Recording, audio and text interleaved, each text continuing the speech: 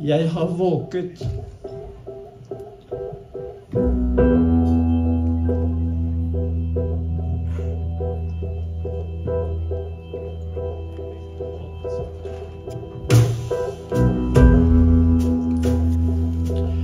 En del av Gunvor Hofmos dikt begynner med anropelsen 'venn' osv. osv.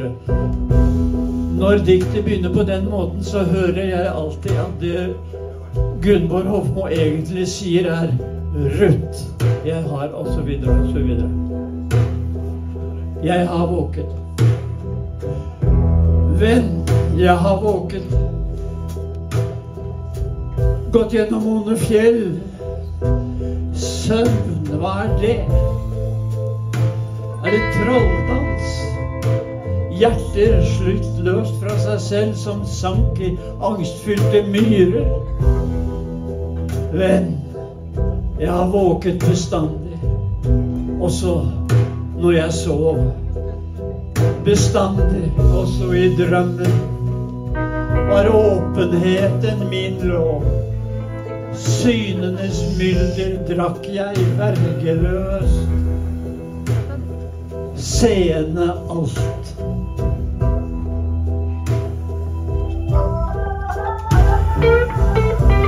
Jeg så min mor i rommet, fattig, enfoldig og trett.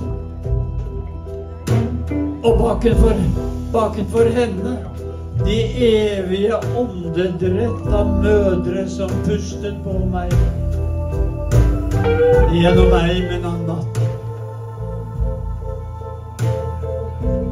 Jeg så min far i rommet. Vis, men også hår. Og bakenfor ham en dønning av menn med våpnene løftet mordere.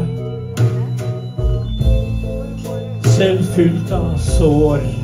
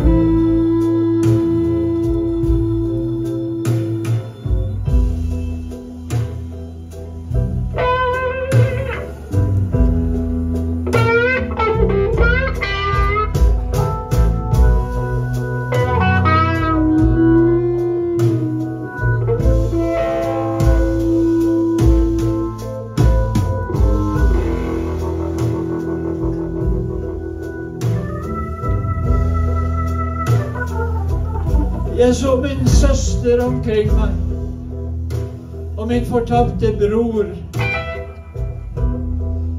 Og bakenfor dem alle fremmede. Min ensomhet hinsides ord fant sitt bilde i dem. Jeg så min venninne, den eneste. Jeg så henne gå for å dø. Og siden har trærne sørget, og siden har døden trukket min kropp og sjel og stemme ut i fortvilelsens sjø.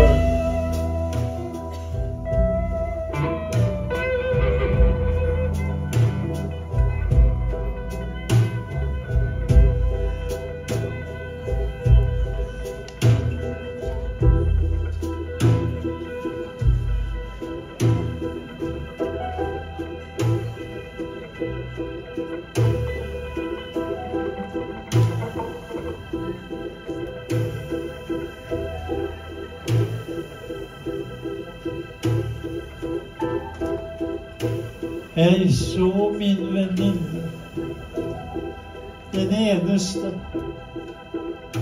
Jeg så henne gå for å dø.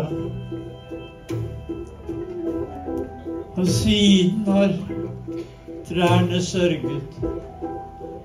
Og siden har døden trukket min kropp og sjel og stemme